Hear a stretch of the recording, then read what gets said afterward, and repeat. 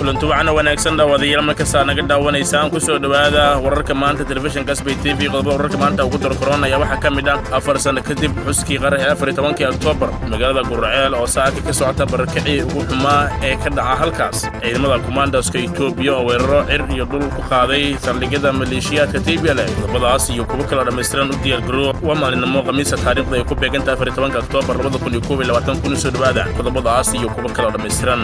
ayna ku bilaabnay magaalada muqdisho ee caasimada soomaaliya maanta oo kale sannadkii waxaa isgoyska zoobe ka dhacay qarax aad u xoogan oo noqday kii ugu dhimashada badnaa weeraradii iyo qaraxyadii ka dhacay guud ahaan soomaaliya. Afar sano ayaa haatan ka soo wareegatay xusuuqaasi oo aan weli ka bixin xasuusta dadka soomaaliyeed gaar ahaan ehlada ay dadkooda ku dhinteen weerarkaas. Dhimashada ka dhalatay qaraxaas ayaa gaartay ku dhowaad kun qof halka ay ku dhaawacmeen ama ay ku ogoontoobeen ilaa kun shan boqol afartan toddoba carruur ah oo waalidiintooda ay ku dhinteen musiibadaasi. Sidoo kale waxaa ku hantibeelay ganacsato badan oo dukaamo hoteelo maqaayado iyo goobo kale oo ganacsi ku lahaa isgoyska zoobe ee magaalada muqdisho. Qaraxii zoobe oo ah sanad kadib dadkii ku dhintay ay taallo u dhistay dowladda taas oo laga taagay bartamaha isgoyska ayaa waxaa dhacdadaasi maskaxdooda raad iyo saameyn xun ku reebtay. Malaayiin qof oo soomaaliya oo ilaa hadda uusan xasuustooda ku goyn qaraxaasi ma jirto cid sheegatay in ay ka dambaysay weerarkaasi. Bahalnimada ahaa oo loo adeegsaday gaari xamuul ah oo laga soo buuxiyey walaxaha qaraxa hase yeeshee dowladda federaalk ah ee soomaaliya ayaa ku eedeysay kooxda al-shabaab oo weeraro ka fulisa gudaha dalka. Dhinaca kale qaramo midoobey ayaa warar ka soo saartay xuska afar tobanka oktoobar oo maanta ku beegan waxaana xafiiska qaramo midoobey u shaaciyey in uu murugada la qaybsanayo soomaaliya. Dhanka kale guddoomiyihii hore ee gobolka banaadir ee taabid abdi axmed xilligaasi ahaa duqa magaalada muqdisho ayaa ka hadlay in aan ilaa hadda waxa isbeddela aysan ka jirin. Kadib qaraxii zoobe ammaanka magaalada muqdisho. Wararka ka imaanaya degmada gurceel ee gobolka galgaduud ayaa sheegaya in saakay uu ka socdo halkaas barakicii ugu xumaa ee maalimihii la soo dhaafay ka dhacayay halkaasi. Barakacan ayaa yimid kadib markii saacadihii la soo dhaafay ay soo gaareen gulduleedka gurceel ciidamo aad u hubaysan oo ka yimid dhinaca dhuusamareeb oo ah ciidamada dowladda iyo kuwa galmudug. Dadka ayaa waxa ay si weyn ugu barakacayaan xaafadaha kale ah wadajir daryeel iyo tobakal waxaana ciidamada ahlusunna ay difaacyo ka samaysteen gudaha iyo daafaha magaalada. Sidoo kale barakacan maanta ka bilowday degmada gurceel ayaa waxa uu ka dambeeyey kadib markii ciidamada dowladda iyo kuwa galmudug ay ku dhowaadeen degmada gurceel islamarkaana ay fariisan ka samaysteen deegaanka ceeldheere sida aan ku helayno ilwareedyo kala duwan ayaa sheegaya in halista laga qabo qaraxyo ka dhacan caasimadda muqdisho. Inkastoo hay'adaha amniga soomaaliya ay ka digeen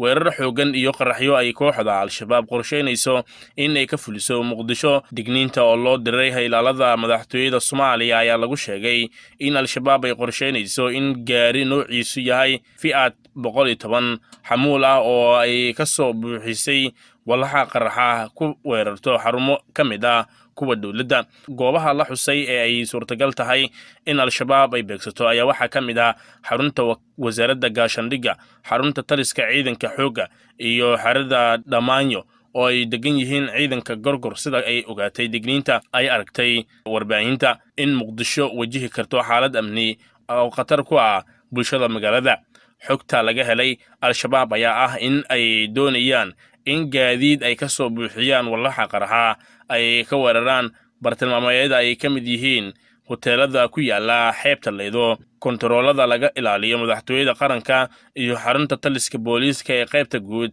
ee gobolka banaadir. Waxaa jira habab badan oo laga bartay qaraxyada ay fuliyaan al-shabaab in ay adeegsan karaan baabuur ay ka mid yihiin runeed kalarkeedu yahay baluug leyla kalarkeedu yahay cagaar iyo dhayno kalarkeedu yahay caddaan. Sidoo kale digniinta ayaa lagu sheegay in weeraradan loo adeegsan karo baabuur. Haddana waxaa sidoo kale suurtagal ah in al-shabaab ay weerarada u adeegsato shakhsiyaad soo xirta jaakadaha qaraxyada.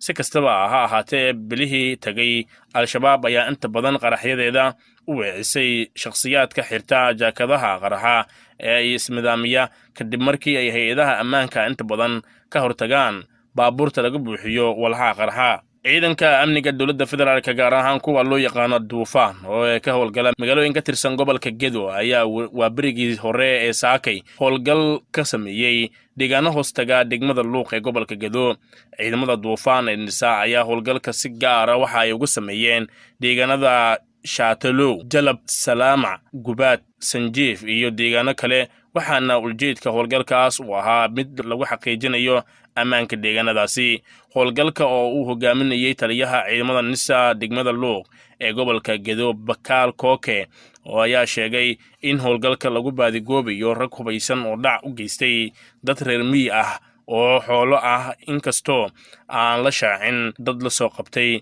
taliya bakaal kooke ayaa tilmaamay in marnaba aysan aqbali karin in la dhibaateeyo dadka shacabka ah ee ku nool deegaano. Hoostaga degmada luuq xilli la sheegay in rag hubaysan ay dhaac u geysteen dad xoolo dhaqato ah oo ay ka qaateen xoolo. Ciidanka amniga dowladda federaalk gaar ahaan kuwa loo yaqaano duufaan iyo ciidamo kale ayaa horey sidan oo kale marar kala duwan howlgallo lagu sugayo amniga ugu sameeyeen deegaana dhowr ah oo ka tirsan gobolka gedo ee koonfurta soomaaliya. Madaxweynaha puntland saciid cabdilaahi deni ayaa dhowaan warqad codsiya u diray guddoonka baarlamaanka taas oo uu ku dalbanayay in hal maalin dib loo dhigo kalfadhiga baarlamaanka oo furmi lahaa shan iyo labaatanka bishan oktoobar madaxweyne deni ayaa sida wararku sheegayaan codsigiisa ku sababeeyey in ay isku beegan yihiin furitaanka kalfadhiga iyo doorashada hordhaca ah ee laga qabanayo saddexda degmo ee qardho il iyo ufin codsiga kadib madaxweynaha iyo guddoonka ayaa isla gartay in hal maalin lagu daro furitaanka kalfadhiga islamarkaana laga dhigo lix iyo labaatanka oktoobar si aysan ugu beegmin doorashooyinka hordhaca ah ee saddexda degmo. Madaxweyne saciid cabdilaahi deni ayaa lagu wadaa in uu shan iyo labaatanka oktoobar magaalada qardho ka daafuro doorashada hordhaca ah ee ku salaysan hanaanka xisbiyada badan laga qabanayo saddexda degmo. Gaari ay saaranaayeen dad shacab ah ayaa ku gubtay inta u dhexaysa deegaanada gowaan iyo wisil ee hoostaga magaalada hobyo ee gobolka mudug. Sida ay sheegayaan wararka aan halkaas ka helayno dadka ku sugan wisil ayaa waxa ay ku waramayaan in dabka xooggan uu ka kacay gaariga oo safar dheer ku jiray kuna wajahna deegaano ka tirsan gobolka galgaduud waxaana dabkaas uu ka dhashay motoorka gaariga.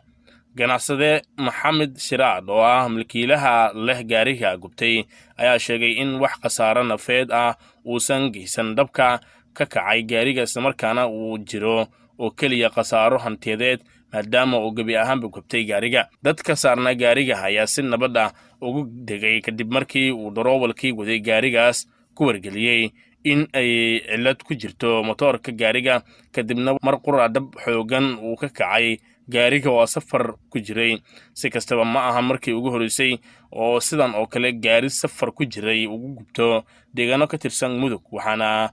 inta badan dabka ka dhasha gaariga keena motoorka oo kululaada maadaama gaadiidka ay safra safar dheer galaan ugu dambayntii jimcihii ciidamada cirka hindiya ayaa u dabaaldegay sanad guurida siddeetan iyo sagaalaad ee maalinta kobaca. Si la mid ah sanad walbana waxay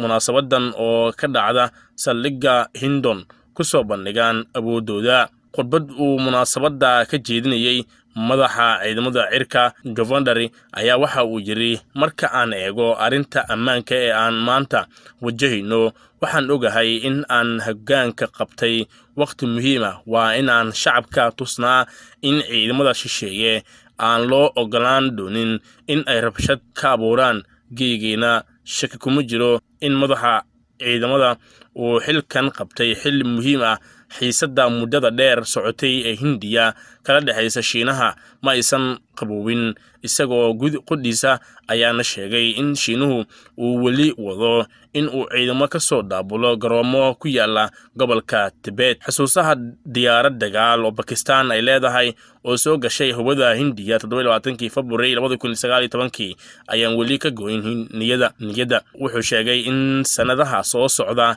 ee diyaarado dagaal oo casriga ku biiri doonaan ciidamada cirka hindiya balse xitaa haddii meesha laga saaro diyaaradaha duugga ah guud ahaan tirada diyaaradaha waxay noqon doonaan soddon iyo shan tobanka sano ee soo socda. Intaas ayna ka soo afmeerina warkaad kala socoteen telefishin gasbay tv inta warkan war laban kulmi doono waxaa idinkaga tegaynaa sida ay nabadgeliyo